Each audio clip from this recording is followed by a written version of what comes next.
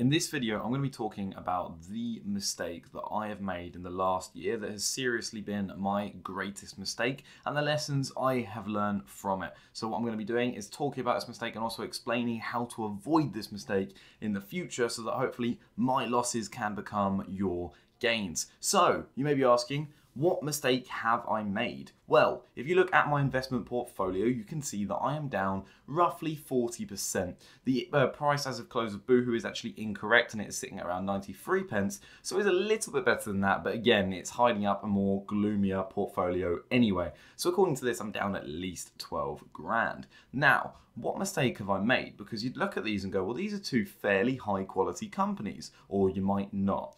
But you're like, okay, well, hang on here. Look at the returns on my investments. I'm down by a fair chunk on both of them, including Boohoo, where I'm down about 45%, which again, I'm guessing based on the price. Anyway, so what mistake have I made? My portfolio is down 40%, and mainly most of this is in the last year. Well, I only hold two stocks. Is it lack of diversification?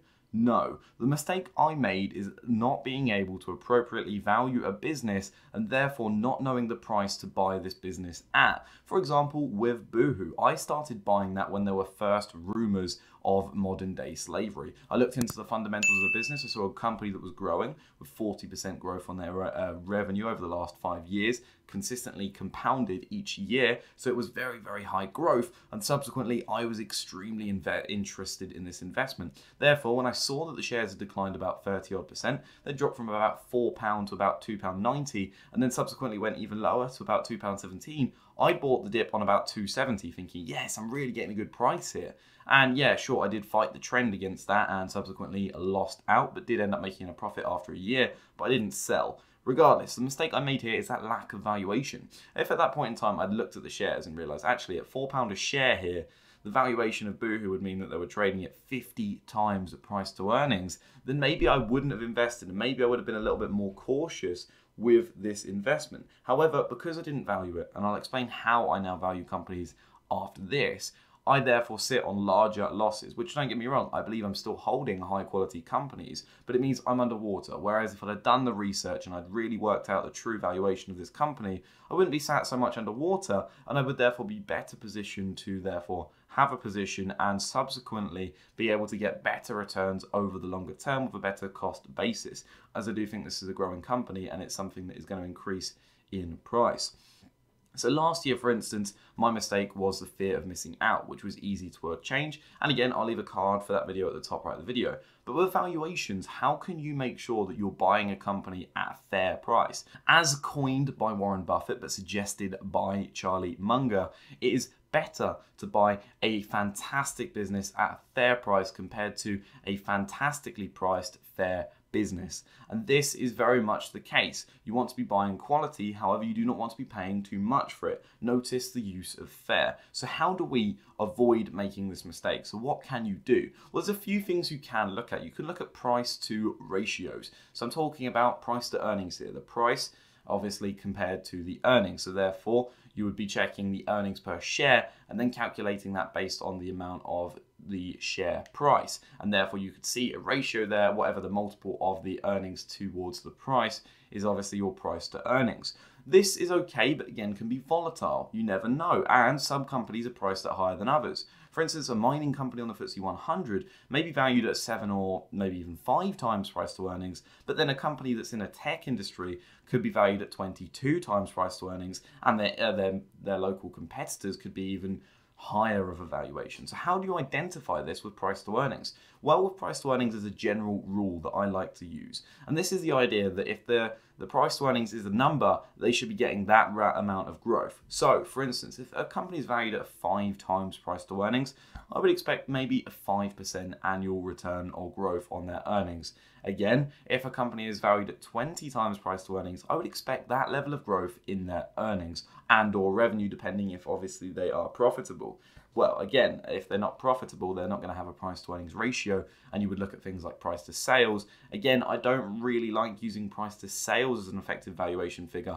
But obviously, if you're looking at a company that is trading at 10 times price to sales, and they have low margins or they're not even profitable or they don't even have a free cash flow, then obviously I think there's a red flag there and it should be definitely something you should be looking at, if not ruling out the investment flat out. But you can also value the company on other metrics, and you can also value them based on the assets of the company. Now, I do quite like using price to book ratio. However, this is very much favored to companies that are capital rich. This means the companies that are able to generate a high amount of earnings, and then with that cash, they're able to reinvest it back into the business, into assets that are going to generate higher returns, or obviously returns on the capital employed based on what they can do with it.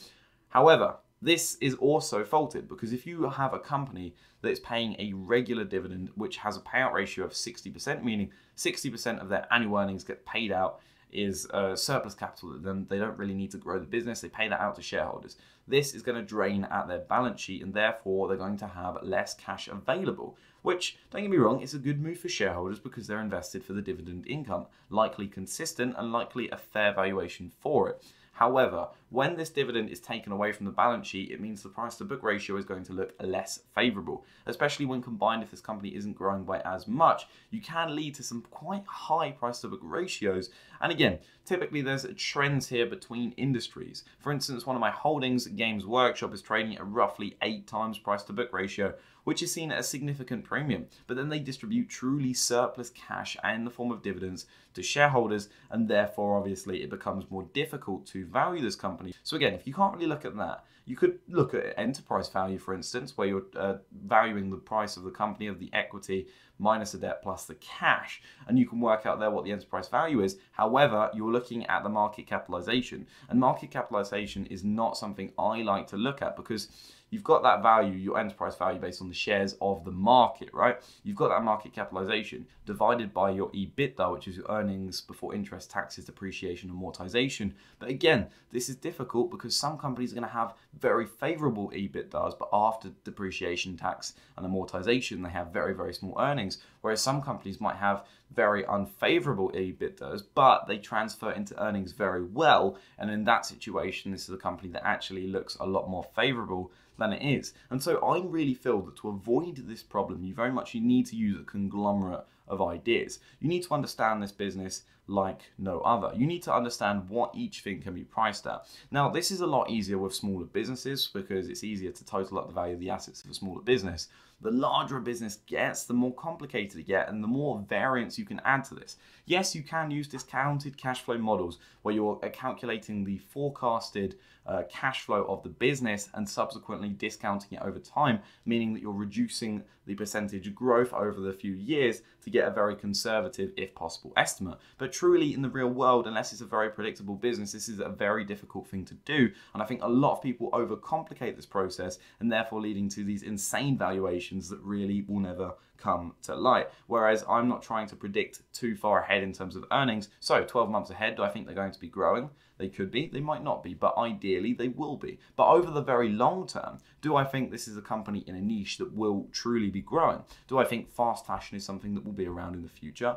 I think so. People are lazy, people want convenience, and people want clothing quick to impress their friends, especially at a cheap price. Therefore, over the next 10 to 20 years, this is a growing industry, in my opinion, and those that exploit it well will do extremely well. Whereas, in the short to medium term, the earnings of the company in the next 12 months may be looking less favorable. There's supply chain disruptions, there's high inflation, therefore, meaning like a company like Boohoo's earnings are going to be squeezed. So, yes, you can look ahead 12 months, but if you're then looking ahead 12 months and you're seeing that, oh no, there's squeezed earnings, there's bad inflation and all of this, then again, you're going to be calculating it based on the discounted cash flow of the margins that may only be temporary.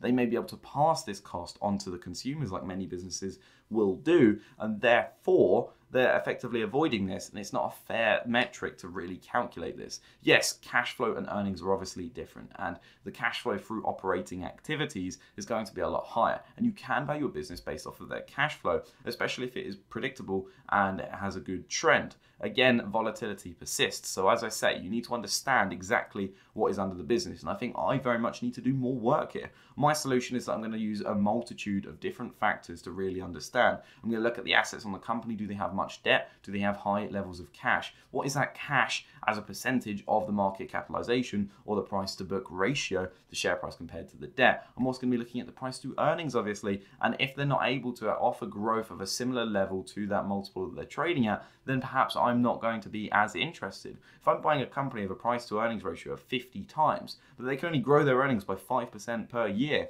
how am I meant to get gains on this? Or furthermore, they could be growing their earnings by 50% per year, but they're trading at a price to earnings ratio of five times. Then I would be very, very interested in the business if their growth is sustainable for the longer term and it's not a short term boost due to a, a black swan event like the pandemic. Cash flow is also important. I want to see predictable, scalable cash flow, and something like that is, again, hard to calculate. But I'm going to compare the cash flow to the price of the business, but I'm going to compare it to the enterprise value. So the, uh, the market capitalization minus the debt plus the cash, and compare, okay, what is the cash flow divided by the market capitalization? What can this really be producing? And then we can look at these kind of estimates, and I'm going to personally use very, very conservative estimates with the idea that, you know what, worst case situation, what could this really be valued at? And that's exactly what I want to follow. There's no point living in hope that they're going to continue to go up. And yes, in the past, I would buy a premium company for a premium price, thinking, well, if they're a high quality company, they'll be able to maintain a high quality price and valuation. But all it takes is one bad earnings report or one negative thing in the media, and suddenly that premium, that investor sentiment drops, and you see significant volatility and a loss of your capital. And that is exactly what has happened with Boohoo, hence why I'm underwater by such a percentage. No, I could not have predicted that over the course of a year it'd be down 70%. I think it is critically undervalued, and I think this is very much overblown by investors. However, in this situation, Boohoo is a good opportunity to buy, in my opinion. But again, I could have mitigated the damage taken to my portfolio with effective use of capital, but also knowing the fair value of a company. And in that case, I may not have been buying as much. I have learned that I'm going to value companies on a much more dedicated basis, and that really I should be a lot more careful and hold a little bit more cash before really buying the dip knowing the fair value of a business is very, very important. And when you know that fair value, you know exactly when it's time to buy or when it might be time to sell, especially if you think they aren't going to be growing as fast as their valuation. If you'd like to see last year's video of my greatest mistake, then click the card at the top right of the video. Thank you for watching. I'm Ozbourne Foreman. Have a fantastic day.